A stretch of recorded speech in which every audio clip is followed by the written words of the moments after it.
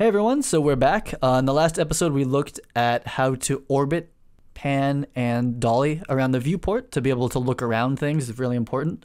Uh, in this uh, tutorial, in this episode, we are going to look at selecting objects, which is also very important and something that's you have to do correctly and, and somewhat precisely to work with Cinedesigner. It's not um, it's designed to select things in a certain way. So I just want to make sure that this makes sense to you guys on a basic level. So let's get into let's get into Cinema 4D. So we have our cube again, and if you haven't touched anything, you'll be in move mode most likely. But uh, let me start with something else. So if you go up here, you'll see if you click that, this is called selection mode. And the first one is rectangle select. So anything that goes in this rectangle gets selected. And um, to un- deselect, you can just tap or you can select nothing. Uh, so you, you select like this. So if there's multiple objects, you're going to pick all of them. And what I want to show you also with this is that when you select things over here in this window, I'm going to get rid of Cinema Designer for now so that this is a little bit simpler. Um, we have our first panel, and there's really not that many panels, so you're in luck um, compared to some other programs. Uh, this is really the only one you have to worry about for quite a while. And what it is, is it's essentially just a list of all the objects in your scene. Eventually, that list will be um, set pieces, cameras, tripods, lights. We're going to get to that. We're going to get to the fun stuff, the cinema designer stuff, real soon. Uh, but we have to go over the basics because uh, this is for people who've never touched a 3D program again uh, in their life. Or they're just coming to Cinema 4D from, say, Maya or something like that, or Blender, or SketchUp, or any, any, any other 3D program. So when you select something uh, it shows up as orange over here as highlighted. I unselect it. Um, it goes back to gray. So that's pretty straightforward. The other way to select things in Cinema 4D is called live selection.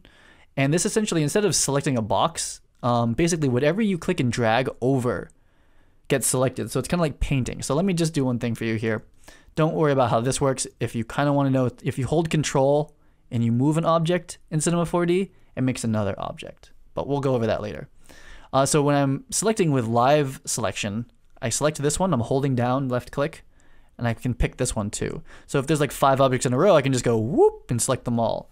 And again, you'll see over here in the object panel that it's the same thing. And this, uh, the object panel is always a rectangle select. So you can select multiple things. Um, so there, that's that's basically how we select things in Cinema 4D. Is there anything else to go over? Oh yeah. Um, so if you want to get to those things, uh, you can hit zero on your keyboard is the, is the shortcut, the default shortcut, and you're in rectangle select. Uh, and if you hit 9, you end up in paint select or live selection. So those are helpful, and you're going to be hitting 0 and 9 a lot because they're uh, so a lot of your job is selecting things in Cinema 4D, especially with Cinedesigner.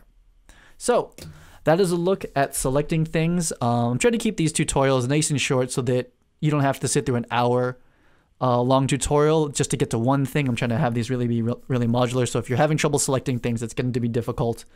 Uh, for you, you don't quite get it. It's not like the program you used to use or you've never done 3D before. This is how we select things in Cinema 4D.